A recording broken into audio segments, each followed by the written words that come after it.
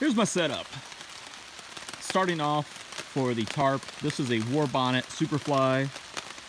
And this thing is awesome. Uh, as you can see, it's raining. It's been raining all afternoon.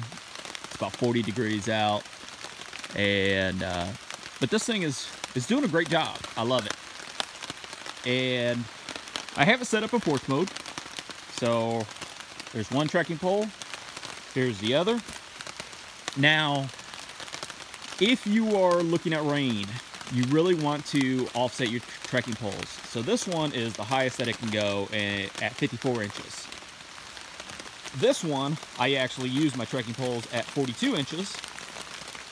So that's what I have. The reason being is you can see the water all gathering down to this end and then go going down the trekking pole. If you don't do that, this whole area in the middle is just gonna fill up with water. So you need somewhere for that water to go other than making a pool. Also, the water's gonna go down the trekking pole. Just like why you use a drip line on your uh, suspension.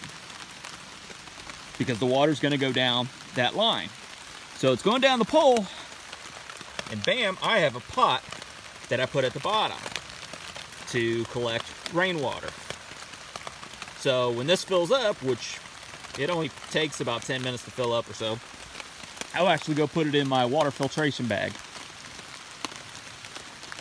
So just a, a little hint, you know, way to collect water when uh, it's raining. Does it very quickly. Uh, this is the 20D Silpoly uh, it's the green. I forget what what type of green they call it, but it's the green. Um, I like it a lot. I like the color. I think it blends in well. And so that is the uh, the tarp. Here's the backside that is actually tied down to the ground. So it's just doing a great job for suspension of my hammock and tarp.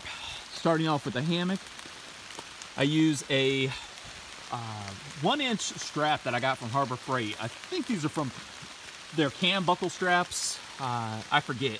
You need to watch their straps because some of them are actually really thin and others are thicker. So I use the Marlinspike hitch. Uh, just find a twig from the ground. I know some people use uh, the carbon fiber. Um, arrow shafts, and I'm around trees to hang my hammock. There's always twigs. It's never failed me. Here is the, um, oh wow, I'm pulling a blank. My whoopee sling, but it's made out of the, um, yeah. I forget what those are made out of. Um, I'll have to come back to that. But for my, uh, my tarp, I use a continual ridgeline. This is 1.7 Zing-It, which fits great with the Dutchware. As you can see, the Dutch uh, Wasp here. So the 1.7 Zing-It, nice and cheap. And Amsteel. That's what I use for my whoopies, Amsteel. So, um, sorry. So, using the uh, the the Dutch gear just makes it so quick.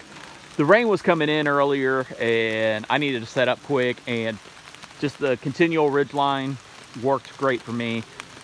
I think I have about 35, 36 foot of line of the Zing-It total and that works out great for me.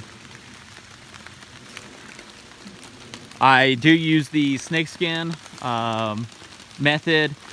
This is just a, a dollar uh, scrunchie that I took apart. Some people use them, other people hate them. Um, I like them. They're cheap. They uh, they last uh, a little bit. You know, when they start getting ripped, I throw it away and get a new one. So, all right. Here's the back side of the tarp.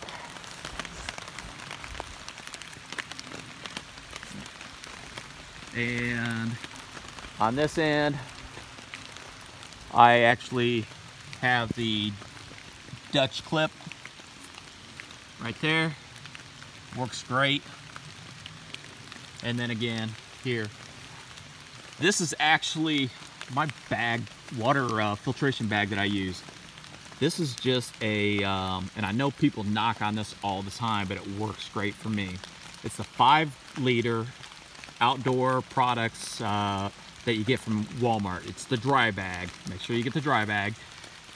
And um, what I've done is I have the HydroBlu water filter uh, that I got from Amazon. This thing's 20 bucks. But the thing I like about it is it comes with this fitting here. So it has uh, uh, silicone O-rings here. All I did is I cut a hole in the bag. I don't do it at the very bottom because by having it up a little bit, uh, it allows the larger sediment to, to fall to the bottom. But cut a little hole, put this on there, and it's a really nice, lightweight uh, water filtration bag. And I'll just be putting my uh, the water from the pot in this for tonight then I don't have to worry about going down to the creek. Going inside,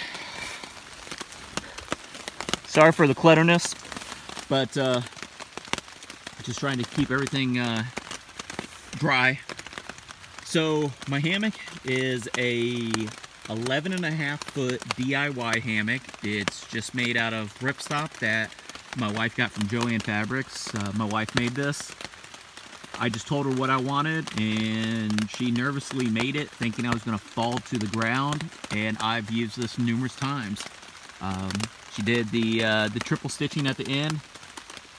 Um, it's great. It cost about 20 bucks to put this together for the hammock. My underquilt. Hammock Gear Econ 20 underquilt.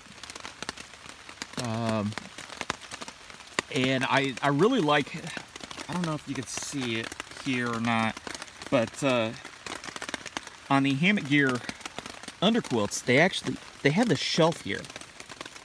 And, you know, it just brings it closer to your legs under the hammock because uh, your, your butt's heavy, so it's going to hang low. And then here, you know, your legs are light. So uh, it's just a, it's awesome. It really is.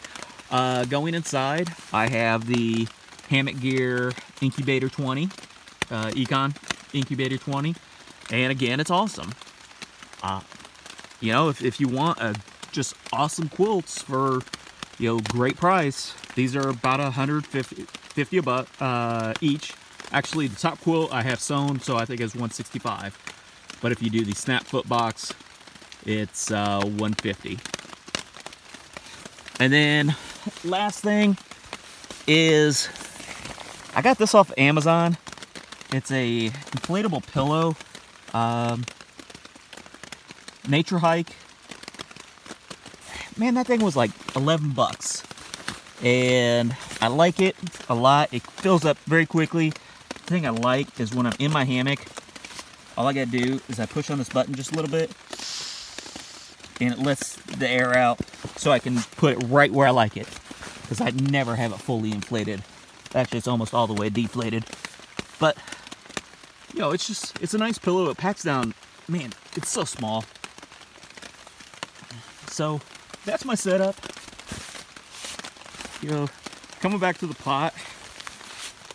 You know, when I started this video, that was halfway full. Now it's overflowing. So I don't know how long it's been done, but that's just a uh, how I that's how I hang. Sorry.